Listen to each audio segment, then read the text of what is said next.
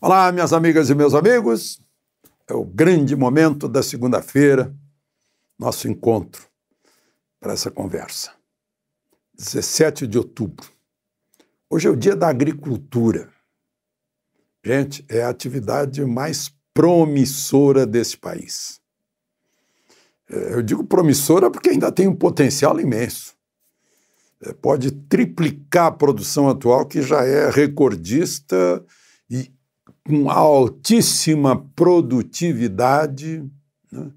é, um exemplo de tecnologia, de competência, garantia de mesa farta no Brasil e para o mundo, e ainda podemos abastecer mais alguns milhões de bocas da humanidade. Parabéns aos que semeiam suor e colhem produtividade. Gente, só para lembrar, em mil, a, a, a rainha Isabel de Castela, em 1483, nomeou o Tomás de Torquemada como inquisidor mor da Espanha.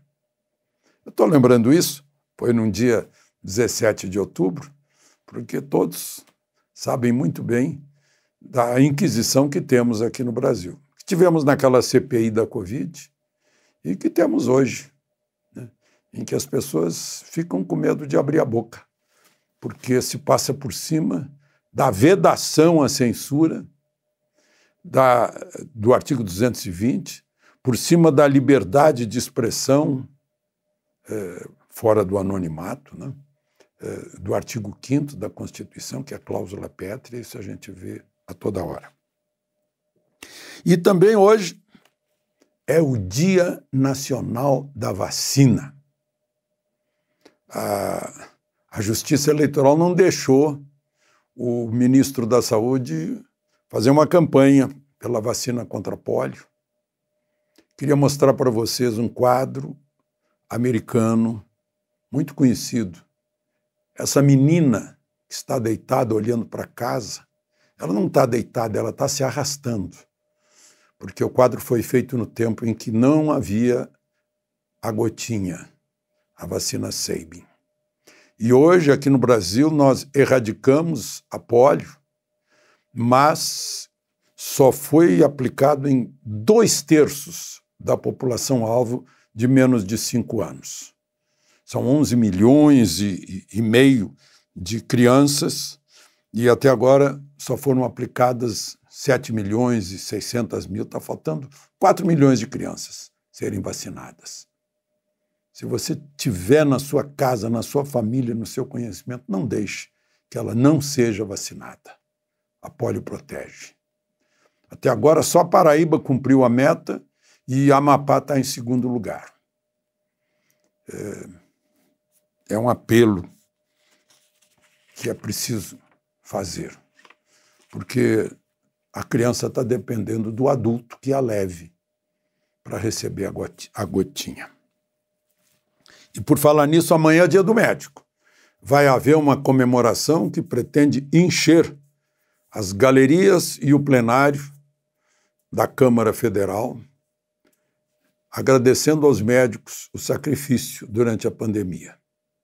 Os primeiros momentos heróicos em que ninguém sabia como tratar, e depois, quando finalmente eh, chegaram mostrando alguns resultados das experiências. A vacina experimental e o tratamento experimental. A, a doutora Kerr, lá em Itajaí, comprovou que o tratamento funciona. Né? Quero cumprimentar principalmente os médicos que contra toda a propaganda horrível, cruel, desumana, dizendo que uma doença não tinha tratamento, trataram e salvaram milhares de vidas. De gente que não foi sequer hospitalizada porque não precisou. Bom, amanhã será prestada essa homenagem. Eu peço que você se inscreva e, ao final, não deixe de registrar o seu gostei ou não gostei.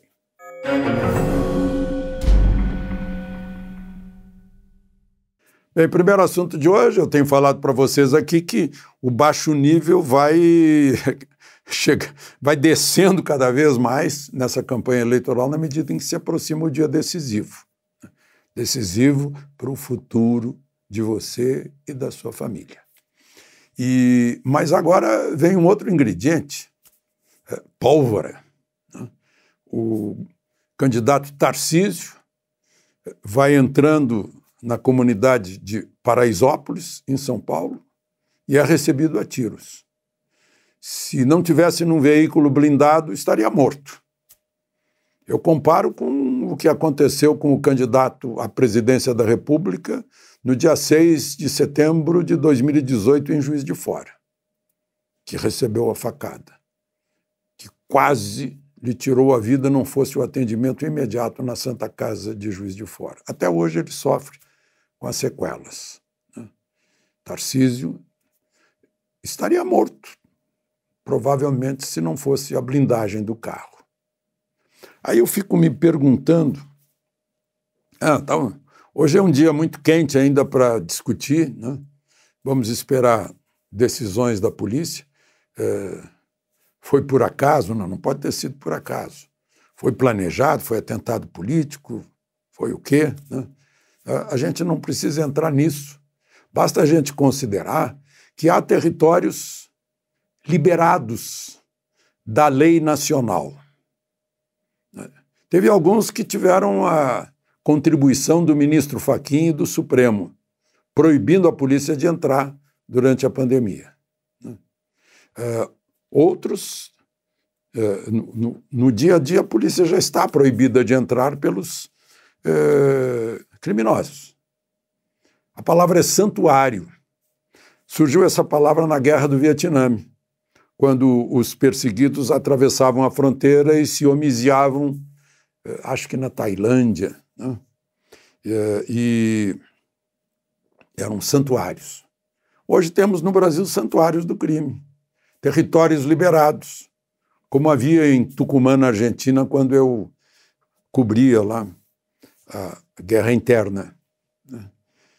Territórios liberados, com armas e munições, armas poderosas, em que eles decidem o candidato que pode entrar e o candidato que não pode entrar.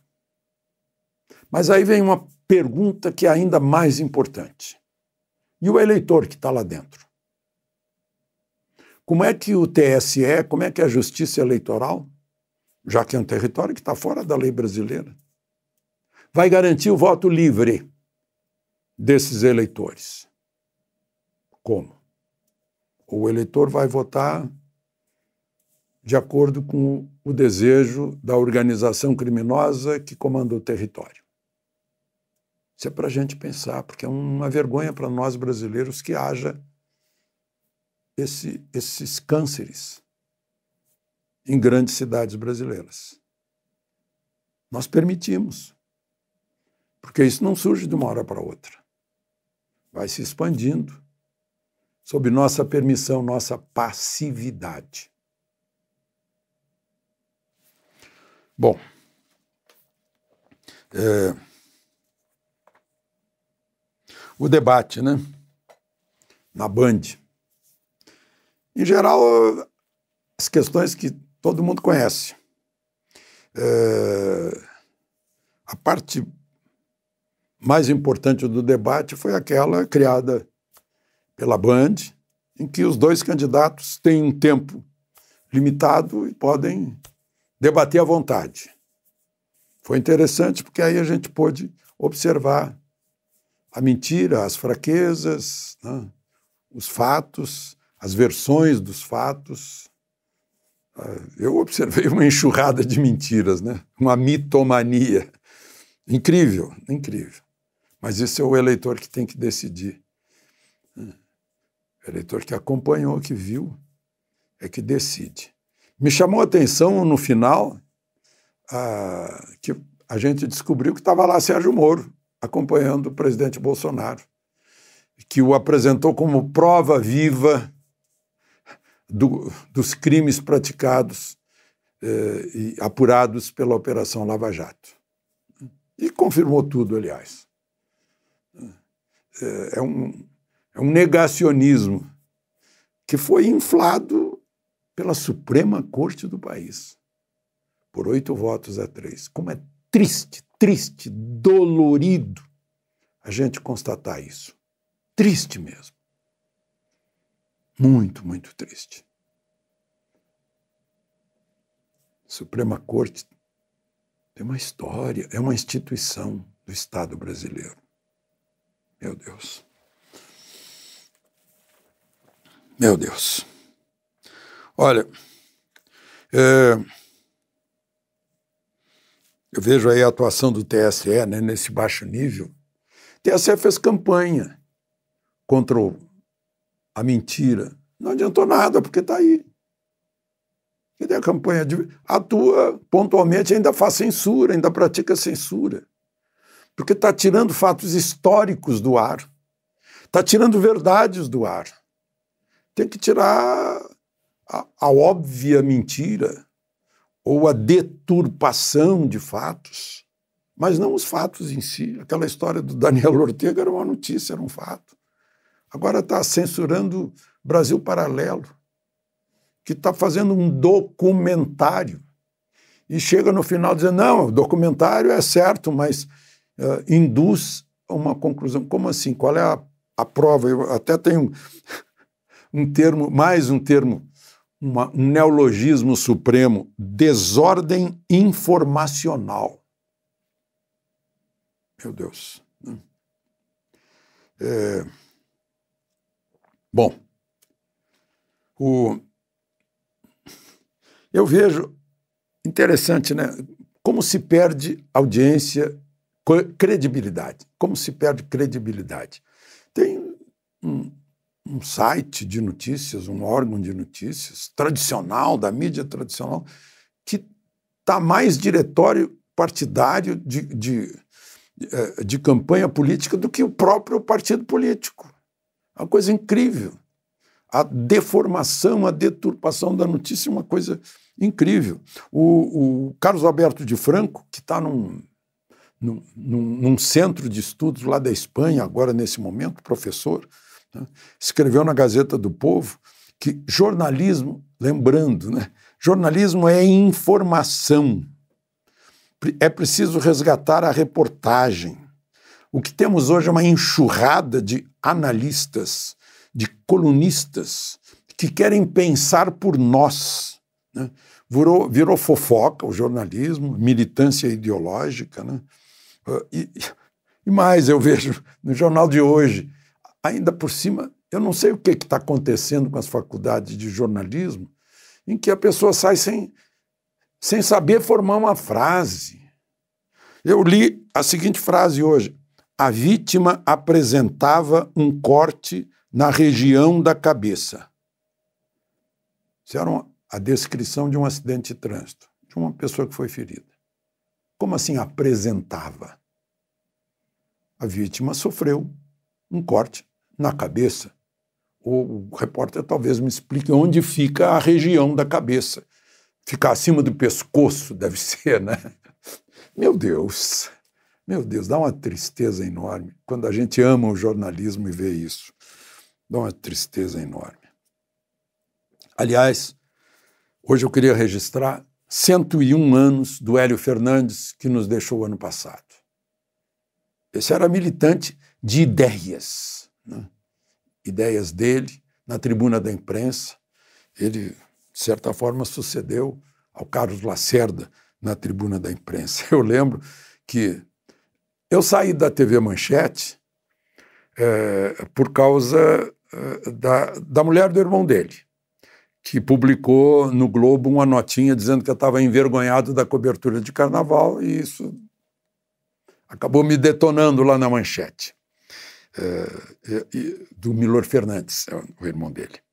E quando eu saí da manchete, ele me ligou, disse: Não faça isso, não faça isso, você vai para Globo, não faça isso, não faça isso. Né? E eu fiz, ele não queria que eu fosse, que eu fosse para a Globo. E mas, enfim, fica aqui o registro. Né?